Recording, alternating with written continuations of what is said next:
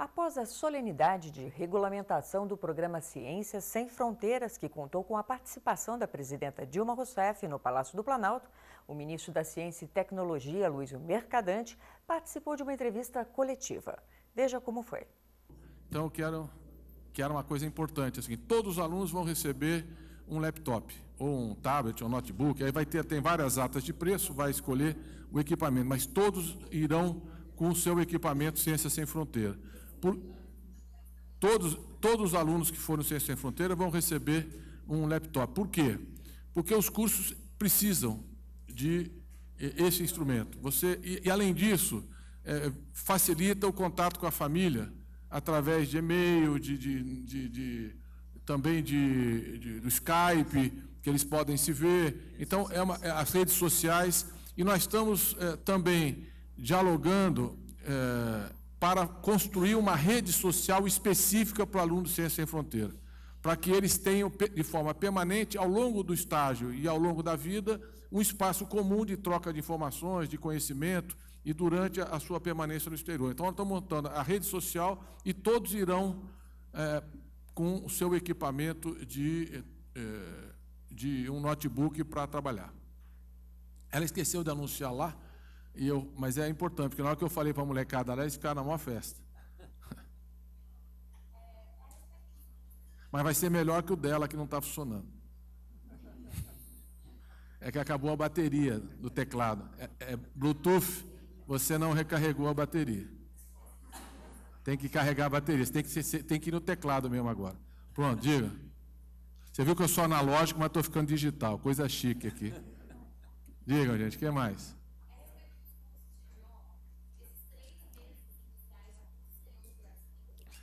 Isso, isso. Vai ter curso online, que a CAPES está construindo, e vão ter cursos presenciais nas universidades durante o verão. Nós já estamos buscando implantar agora, nesse verão, e até o ano que vem, nós imaginamos, o Fernando Haddad tem se dedicado muito a isso, que todas as universidades federais poderão oferecer os cursos. Por quê? Porque os alunos que tiveram mais de 600 pontos, que são elegíveis, já podem ir estudando a língua para as próximas chamadas. Então, é um fomento também ao ensino da língua. E os seis meses de mergulho, né, ou é, oito meses, no caso das línguas mais difíceis, mais complexas, é, é uma forma de a gente fomentar que o aluno também tenha uma relação cultural profunda com o país que ele vai. Quer dizer, não seja apenas uma experiência de um ano e meio na vida dele, mas seja uma experiência para toda a vida. Então, a, a, o domínio da cultura, o domínio da língua é fundamental para você construir essa relação. Nós já temos seis universidades no Brasil, federais, que estão dando curso de mandarim. Nós achamos, por exemplo, que lançando o programa com a China, vai aumentar a demanda do chinês e vai aumentar a demanda por outras línguas, como é o caso do francês, do italiano, enfim, é, além do inglês, é, por suposto. Na, no caso da, e quem domina a língua tem mais opções, porque em alguns países você tem cursos, por exemplo, na China você tem alguns cursos que são em inglês, mas na Coreia também as quatro melhores universidades são em inglês. Mas se você dominar uma língua, você ainda vai ter mais possibilidade de fazer cursos e mais facilidade de acesso à bolsa. Então, o, o Sem Fronteira também é um estímulo à proficiência em língua.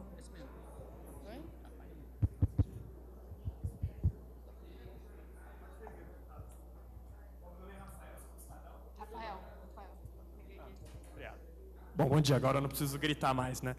Meu nome é Rafael, sou do jornal Estado de São Paulo. Gostaria de saber do presidente da CAPES como foi essa experiência do primeiro edital que já foi aberto, essa primeira leva de estudantes que vai para os Estados Unidos, para onde eles estão indo, Universidade de Stanford, Berkeley. Só comentar essa experiência do edital que já foi aberto, como, como foi a implantação do programa. Nossa primeira chamada, que foi um, um experimento para ver como ia correr o Ciência Sem Fronteiras, fizemos só para os Estados Unidos e só a Bolsa de Graduação Sanduíche. Tivemos mais de 7 mil inscritos. E uma surpresa muito agradável, um terço tinha muito acima da pontuação mínima que as universidades americanas pedem em, na língua inglesa. Tanto esse, sobre, esse aspecto já estavam preparados. Ah, então, nós selecionamos juntamente com o Instituto for International Education, que é um, é um parceiro nosso, nos Estados Unidos e juntamente com a comissão Fulbright para selecionar esses primeiros 1.500. Então, a, eles é, foram selecionados conjuntamente e estão sendo alocados nas principais universidades da nossa lista de prioridades de universidades americanas. As principais, todas. Qualquer uma que você falar aí, todas. O Lincoln o Lincoln está indo para Nova York. Columbia, é, Davis, é, uh, Texas A&M, enfim, Harvard, uh, enfim, todas elas que aceitaram participar do programa. Essa é uma primeira chamada só da graduação. Nós temos os outros programas para os outros níveis. Né? E, portanto, esses outros níveis já estão sendo preenchidos também, já que eles não precisam de edital como esse precisa, uma chamada pública específica. Deixa eu só, só dar uma. O Lincoln é o exemplo aqui, ao vivo e a cores. É do interior da Bahia e está indo para Nova York, aluno do ProUni. Entrou pelo ProUni na universidade, tinha a pontuação, foi classificado e está indo. Depois, se quiserem conversar com ele, ele pode dar as dicas. Está pronto para ir para Nova York. É, é, o único problema que ele está sentindo é que não tem a caragela. Desenho industrial, a área dele está dentro da, dos, das nossas prioridades, a chamada é, indústria criativa. Acima não. E ainda assim houve uma, uma seleção porque muitos deles, a universidade, por exemplo, não homologou aquela inscrição, achando que ele está bem num, aspecto, que era a língua, mas não tinha outros componentes adequados. Pode, por favor. É, é, é muito importante isso.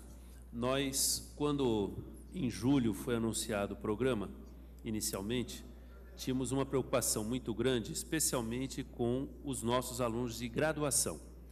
Na pós-graduação, alunos de doutorado sanduíche, doutorado pleno, pós-doutorado, as duas agências já têm uma longa experiência de muitos anos, o procedimento é bastante estabelecido, ele depende fundamentalmente de um conhecimento do estudante de pós-graduação do laboratório em que ele vai, é, da relação entre os pesquisadores, o seu orientador no Brasil, o seu orientador no exterior. Então, isso estava bem estabelecido. Nós tínhamos uma preocupação muito grande com o programa na graduação.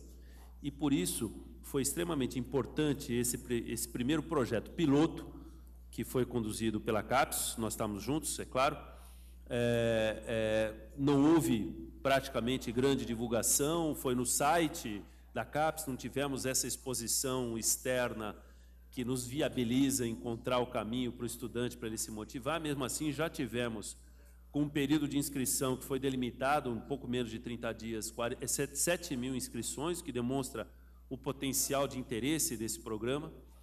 E, e, nesse programa, nesse primeiro momento, a gente tinha uma preocupação muito grande de que, se quiséssemos já fazer os primeiros, as primeiras colocações, a gente tinha que ter o controle da língua, né, Jorge? Então, é, o primeiro lote dos 1.500, que são quase 900, estão indo imediatamente agora em janeiro, porque já tinham um domínio um pouco melhor da língua, e os outros complementares desses 1.500, que faltam 600, irão até junho, fazendo o curso de língua no Brasil e depois o curso de língua presencial nos Estados Unidos, nas diferentes instituições. Foi muito importante, eu quero só ressaltar o seguinte: essa parceria com o Institute of International Education, que fez um questionário para as maiores universidades americanas, que ofereceram então para cada curso o número de vagas que tinham. Então agora nós fazemos a seleção e junto com o IE, conhecendo agora o mapa das universidades americanas, já com as vagas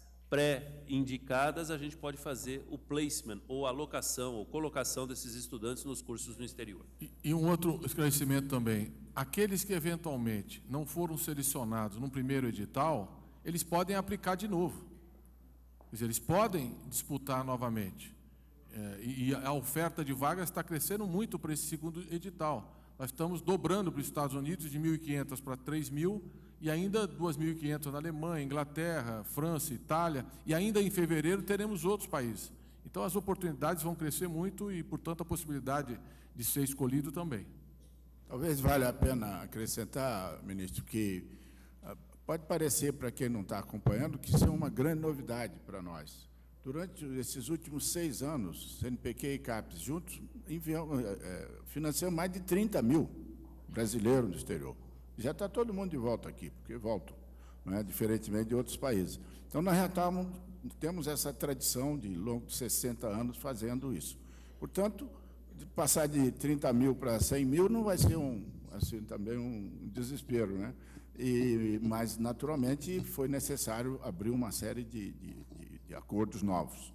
Hoje temos acordo com mais de 40 países, né, para efeito não apenas do Ciência Sem Fronteiras, mas também para os outros programas, tanto do CNPq como da CAPES, nos quais as ciências humanas e sociais que estão fora do programa Ciência Sem Fronteiras, nos programas clássicos nossos, não.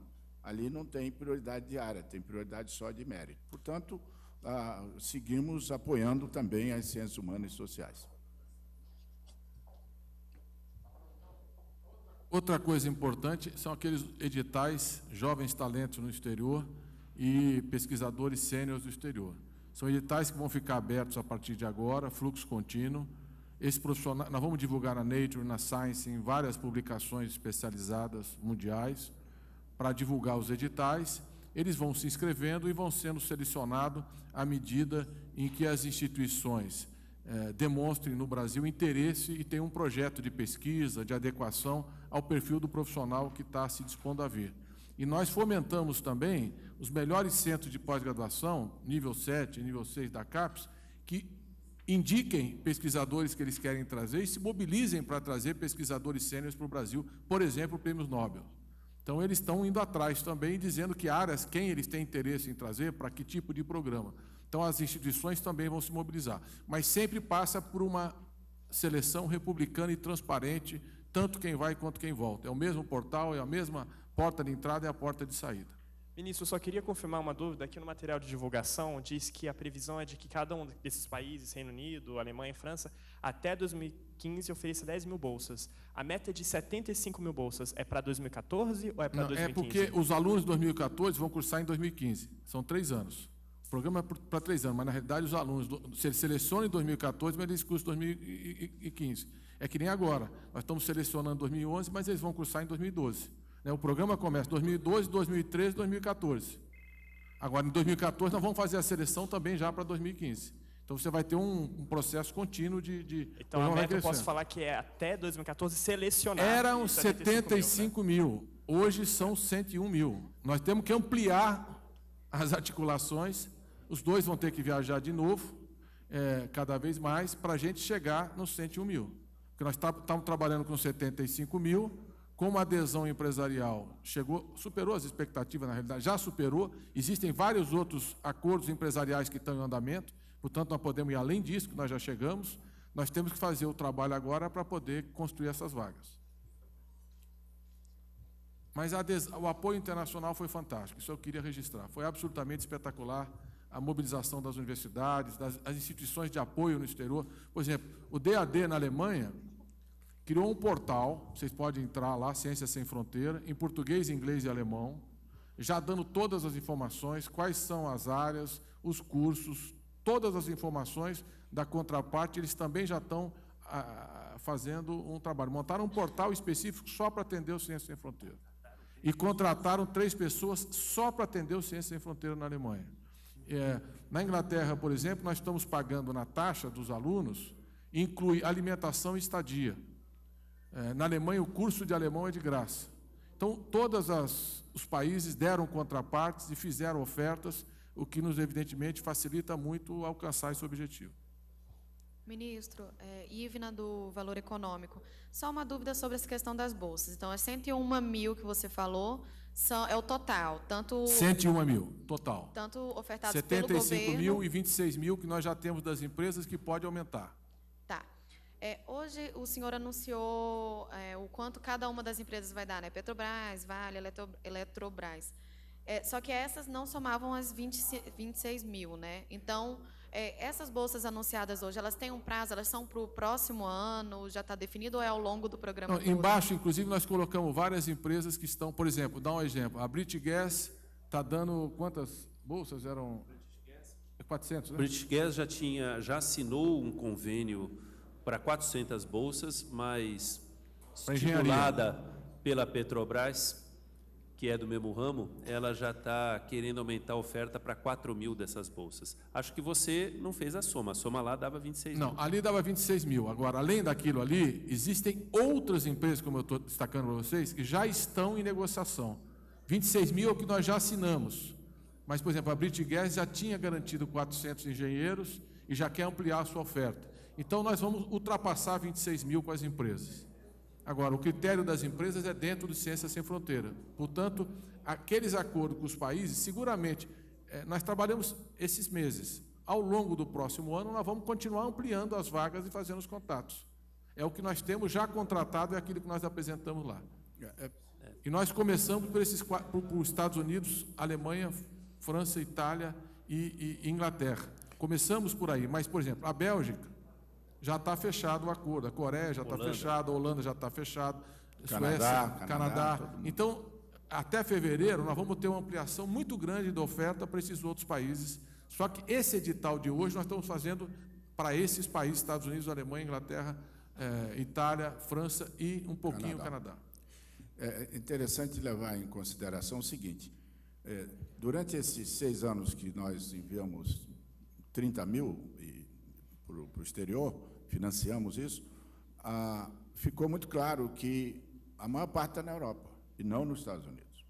E por que isso? Porque nós temos muitos acordos com a, com a Europa, com, com, a Alemanha, com França, com, com Itália, com Itália não tanto, mas com Canadá, com, com Espanha, com Portugal, com eh, Suécia, Holanda, e, portanto, temos muito mais estudante lá.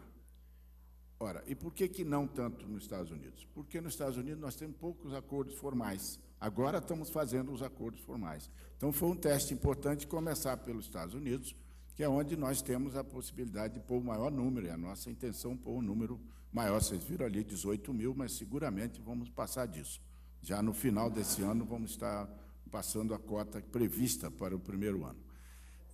E por conta disso, então começamos com, com os Estados Unidos. Agora, por que, que tem tanto mais interesse da Europa nessa cooperação? Por que, que as empresas estão? Então, a, a Boeing está aqui ó, interessada, vai doar, não sei, milhões de dólares para o programa. Portugal, Telecom. Portugal, tele... é, por causa da quantidade de empresas Itália, aqui. Itália Telecom. Aqui, né? a, a, Saab. A São Paulo é a maior cidade industrial da Alemanha, fora da Alemanha.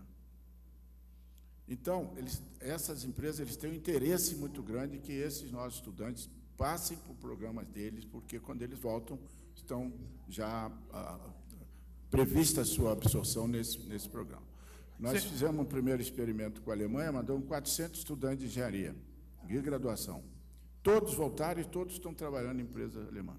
Portanto, esse interesse do, do, do setor industrial internacional tem muito a ver com o estágio econômico que o Brasil passa, essa grande perspectiva de expansão. Né? A Boeing entrar nisso não tem lá seus sinais, né? A Boeing ainda não está aqui presente como empresa, é, vamos dizer, com, com, com, sede no Brasil, mas ele sabe do interesse que tem de expandir né, suas conexões no, no, no país. Agora, a Europa tem mais investimentos no Brasil do que China, Índia e Rússia juntos, olhando os BRICS. Portanto, é, a presença é, dessas empresas no Brasil, além da, da história, está crescendo muito nessa situação internacional que está se desenhando. Se você pegar, por exemplo, o desempenho das subsidiárias italianas, ou espanholas, ou portuguesas, ou francesas no Brasil, hoje é muito grande. Tanto que a remessa, por exemplo, de lucro que elas estão tendo para suportar a crise lá é, é muito expressiva. Na realidade, nós estamos assistindo um período da história econômica que a vaca está mamando no bezerro. Então, você pegar a Fiat, por exemplo, a Fiat Brasil é maior que a Fiat Itália hoje. E isso vale para boa parte dessas instituições. Então, o interesse no programa, não só dos governos, das universidades, mas das empresas, é muito grande. Ministro. Inclusive de empresas internacionais, como nós estamos citando aqui. Ministro, é, a presidente Dilma, no discurso dela e também nas falas aqui, é, fez questão de sublinhar o fato da colaboração da iniciativa privada. No entanto, nesses 26 mil, temos aí mais ou menos um terço, que na verdade é a Petrobras e a Eletrobras. O senhor, nas suas apresentações sobre, comparando nosso, nossa posição no ranking de produção científica e nossa produção, posição no ranking de inovação, mostra é, a diferença que há e mostra como a, a falta peso de investimento privado. Bom, é, essa a gente pode avaliar como é, incipiente ainda essa participação ou está acima da sua expectativa? Não, como eu disse para vocês, 21 mil, 26 mil é o que nós temos hoje. E não estão contabilizados várias empresas que nós estamos fechando acordo, inclusive empresas internacionais. Portanto, isso vai crescer. Agora, é o que nós temos hoje, assim como as vagas no exterior, é o que nós temos hoje. Nós já temos negociações da adiantada com todos esses países que nós falamos, Bélgica, é, é, exemplo, a Hungria tem excelentes universidades que quer participar do programa, não está nem naquela lista. Tem 11 prêmios nobres a, a Hungria. Na área de biotecnologia é um país absolutamente importante e quer participar do programa e tem universidades com curso em inglês. Porque húngaro, como diz o próprio Chico Buarque, é uma, é uma língua absolutamente impossível. Né? No Budapeste, lá ele fala a dificuldade que é falar húngaro. Mas, de qualquer forma, nós temos ali uma, uma, uma, uma oferta interessante. São universidades em inglês e são universidades de classe mundial e estão participando. Então, não estão contabilizados ainda todos esses acordos que estão em andamento, nem as empresas que ainda estão em negociação. E algumas, inclusive, que já assinaram, não estão naquela contabilidade. Nós demos exemplo da Gas. Então, estava oferecendo 400 cursos de engenharia e já quer ampliar para 4 mil. A... Então, a participação do setor público, de empresas estatais, vai ser diluída na evolução do programa. É como a presidenta mencionou, esse programa não vai ficar nos quatro anos. Dada a, grande expectativa internacional, a grande, o grande interesse que as universidades do mundo inteiro demonstraram pelo programa, e o grande impacto dentro do país, com os nossos jovens, e a grande é, expectativa que criou, seguramente ele não vai parar em quatro anos, ele vai continuar. Mas, a respeito da participação, por exemplo, do setor né, de indústria é, é, oficial, né, como a Petrobras, a Petrobras tem necessidade de 60 mil engenheiros em petróleo e gás. Então, era mais que natural que a Petrobras entrasse pesadamente nessa, nesse programa, não é? porque ela é um, um dos principais entidades que absorve essa mão de obra. Eu queria acrescentar o seguinte: o, o, o presidente Lula ele expandiu as escolas técnicas, ele expandiu as universidades federais, ele fez um programa importante para a educação básica, a CAPES entrou nisso. E a presidenta Dilma está fazendo o esforço na área tecnológica. E são quatro programas. Né? O primeiro, o Pronatec, obviamente, na área de mão de obra, o Ciência Sem Fronteiras, o Brasil Maior, e há um quarto programa que ainda está dependendo de termos uma conversa com os dois ministros para apresentar para ela, que é um programa de formação de engenheiro no país. Esses quatro programas têm um foco na área tecnológica. Isso vai marcar a, a vamos dizer, o governo Dilma em relação ao governo uh, Lula. Né? O governo Lula fez uma coisa mais básica e ela está fazendo a mais aplicada. Mas só outro comentário que é importante: a Petrobras com 5 mil bolsas não é só porque é uma empresa uh, estatal. É porque é uma empresa industrial do país com o maior programa de investimentos no Brasil. Por isso que ela tem peso destacado. Ela tem interesse estratégico na formação de profissionais qualificados para todas as áreas. A, a, Petrobras está investindo em P&D esse ano, pesquisa e desenvolvimento, 1 bilhão 260 milhões de reais. 1 bilhão 260 milhões de reais. Está financiando 17 laboratórios altamente é, modernos e de ponta. Eu inaugurei o último agora aqui na UNB, na área de geologia, que estão todos entre os cinco melhor, melhores laboratórios do mundo nas áreas em que são de interesse estratégico da empresa. Pesquisa de materiais, corrosão, nanotecnologia, enfim, tudo que diz respeito ao projeto do pré-sal, o desafio do pré-sal, que é um grande desafio tecnológico, industrial e de engenharia. Então, ela tem é, um peso importante no programa porque está dentro do seu foco, do seu desafio tecnológico. Bom, doutor Jorge, no mês passado, se eu não me engano, o MEC, acho que dia 18, o MEC divulgou a avaliação das universidades públicas e privadas.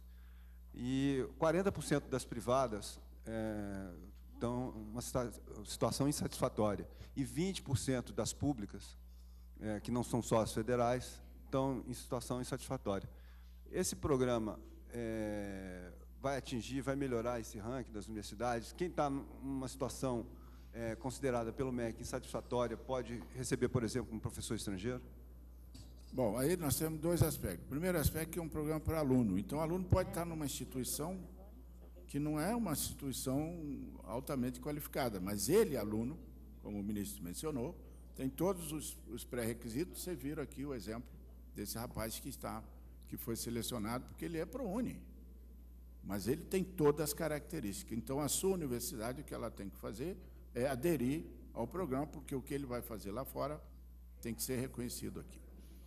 Quanto a essa outra questão, a nossa grande expectativa é que esse programa vai trazer um impacto pouco previsível para quem não está muito no métier.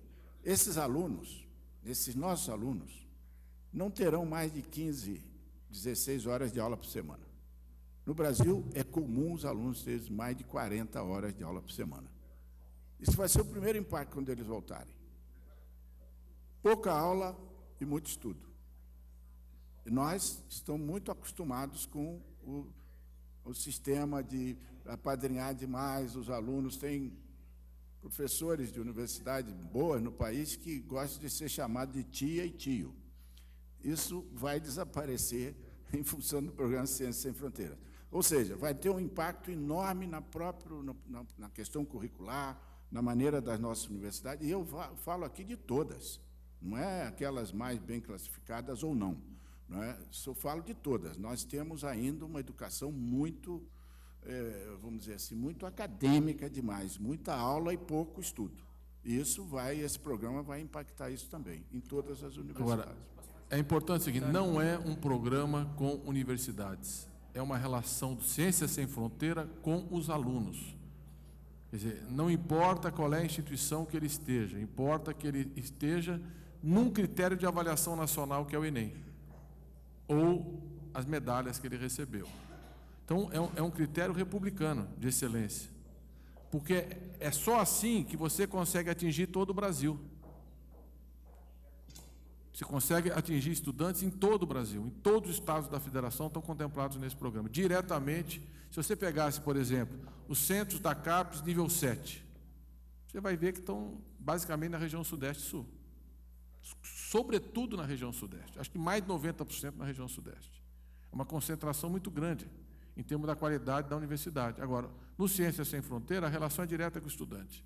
Isso a presidenta, desde o início, estabeleceu com muita é, com muito rigor. Né? Nós queremos os melhores estudantes do Brasil, os melhores alunos que, que passaram no Enem, os alunos que estão recebendo medalha de ouro na Olimpíada, que a gente só descobre, descobre às vezes na Olimpíada, vem de pequenas escolas no interior que você nunca ouviu falar e conseguem chegar.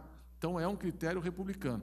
E o fato de existir o Ciências Sem Fronteira vai motivar os alunos, tanto para o Enem, a ter um bom desempenho no Enem, como motivá-los à língua para poder ter chance no Ciências Sem Fronteira. Quero adicionar. Muda a aspiração. Que é, o aspecto que o, o Jorge levantou, que é o impacto que isso tem nas instituições universitárias brasileiras. Quer dizer, esse, esse, é um projeto que, na verdade, ele tem um efeito multiplicador. Nós vamos estar focando em 100 mil estudantes, inicialmente, mas esses estudantes estão forçando primeiro as suas próprias universidades a rever os seus próprios programas de ensino, porque são obrigadas a reconhecer, aliás, a universidade, ela, ela, ela, ao aderir ao programa, ela se obriga a reconhecer as atividades acadêmicas realizadas pelo aluno no exterior. Ora, para reconhecer, ela vai ter que aprender como são os programas de ensino no exterior, ela vai ter que se reavaliar. Esses estudantes, ao retornarem, passam a ser instrumentos de modificação e de transformação das próprias instituições nacionais. É, você destacou um outro uma outra questão, que é a importância do programa de atração de jovens talentos e, e grandes lideranças científicas. Esse edital que está sendo anunciado, aliás, já está na página, é, a página já está no ar, www.cienciasemfronteiras.gov.br. O edital de jovens talentos e pesquisadores visitantes, ele é feito em parceria com as fundações de amparo à pesquisa dos estados, com as FAPES. Como isso vai ser feito? Nós fazemos o anúncio internacional. Os indivíduos se inscrevem, já identificando uma, uma instituição de destino ou não, E aí, para cada nós vemos todos os inscritos daquele estado. Se os recursos que nós tínhamos planejado ir até o 2 ou 3, é, o Estado vai poder entrar com uma contrapartida para poder avançar naquela lista. De tal forma que a gente tem condição agora de que todos os estados, de alguma forma, serão atendidos por esses jovens talentos e pesquisadores visitantes especiais porque justamente vão aportar recursos para a seleção desses melhores professores. Então não vai haver exclusivamente uma concentração no Sudeste e no Sul para o programa de Jovens Talentos e PVE. Eles serão distribuídos pelo país inteiro em função da parceria com as fundações de amparo à pesquisa estadual. Vamos encerrar então, senão daqui a pouco isso aqui já virou um próprio curso do Ciência Sem Fronteira. Vai, é, Ministro Mercadante, eu queria saber se existe alguma estratégia do, do Ciência Sem Fronteiras para tornar essas pesquisas mais acessíveis à população. É, eu, como jornalista científico, tenho a preocupação de, de, Eu tenho medo de que a gente esteja fazendo um Barcelona e Santos de portões fechados. Um, projeto, um, um programa excelente que pretende é, elevar o nível de conhecimento do, do, dos nossos pesquisadores, dos nossos alunos, mas que isso não seja debatido em sociedade. Eu queria saber se existe alguma, alguma ideia em relação a isso. É, eu quero já anunciar de primeira mão uma ação que o CNPq já está fazendo no edital universal e passa a fazer agora em todos os seus editais, inclusive de bolsistas. Cada pesquisador, quando pede um projeto ou quando manda um relatório, ele é agora obrigado a preencher um campo de 2 a 4 mil caracteres, no qual ele tem que descrever, em palavras para um não especialista, a relevância, a importância daquele trabalho, daquele projeto primeiro ou dos resultados que foram atingidos. Isso agora compõe um banco de dados, não é mais um PDF, é um arquivo que está num banco de dados que pode ser buscado pelos jornalistas, pelos divulgadores, pelos popularizadores da ciência, para encontrar ali, olha, quem em tal região está fazendo uma pesquisa que tem a ver com água, com energia, com, com é, é, ambiente, enfim, com mudanças climáticas com palavras-chave, você vai poder buscar esse campo. É evidente que pesquisadores não serão ultra hábeis em fazer uma divulgação, mas ali já é uma abertura. Ele tem que fazer o esforço, e é cobrado por isso, porque a agência exige, senão o relatório ou o projeto não é aceito, ele tem que fazer uma descrição de 2 a 4 mil caracteres, que dá meia página, um pouco mais, sobre a relevância daquilo que faz. Isso passa a ser compulsório, inclusive nos relatórios que os estudantes do Ciências Sem Fronteiras vão ter que fazer ao final da sua, do seu treinamento. Deixa eu concluir então. Assim, primeiro, nós temos a plataforma Lattes. Então, todos os currículos estarão disponibilizados. Né? É um dos poucos países que tem esse mecanismo. Todas as áreas do conhecimento, todos os currículos de mestres, doutores do Brasil estão lá classificados, temos mais de 2 milhões de currículos. Então, qualquer pesquisa que você quiser fazer, conexões, redes, intercâmbio, você tem lá um acervo disponibilizado. Nós vamos enriquecer a plataforma Lattes com o currículo dessas pessoas que, evidentemente, vão se mobilizar, vão se interessar, vão querer ou serem pesquisadores, serem cientistas, serem profissionais dessas áreas. Dois, nós estamos dia 15 agora, aqui no Palácio Planalto, fazendo a primeira reunião do Conselho Nacional de Ciência e Tecnologia. São empresários, cientistas e representantes da comunidade e vamos apresentar, já apresentamos para os membros do Conselho, vamos discutir a Estratégia Nacional de Ciência e Tecnologia do Brasil. Então, nós estamos definindo lá todas as áreas prioritárias, os instrumentos, etc. E nessa reunião do encontro, nós vamos inaugurar 200 mil teses acadêmicas digitalizadas pelo IBICT. Então, todas as teses acadêmicas hoje vão direto para a internet. Nós estamos inaugurando 200 mil teses disponibilizadas na internet em todas as áreas do conhecimento. Então, usando o TI, usando as novas tecnologias, como o CNPq está fazendo em relação a todos os projetos do CNPq, nós vamos facilitar cada vez mais o acesso. E essa molecada que vai para fora já vai com notebook, esses já são todos digitalizados e vão ter instrumento fantástico de apropriação, de distribuição, que é a internet. E essa rede do Ciência Sem Fronteira que nós estamos criando dentro da internet vai ajudar também que eles troquem experiências, conhecimentos, saibam o que cada um produz ao longo dos anos. Obrigado a vocês todos, um bom almoço e até a próxima. Você acompanhou a reapresentação da entrevista coletiva concedida pelo ministro da Ciência e Tecnologia, Luísio Mercadante. O ministro conversou com a imprensa no Palácio do Planalto após a solenidade de regulamentação do programa Ciências Sem Fronteiras, que contou com a participação da presidenta Dilma Rousseff. Continue com a gente, NBR, a TV do Governo Federal.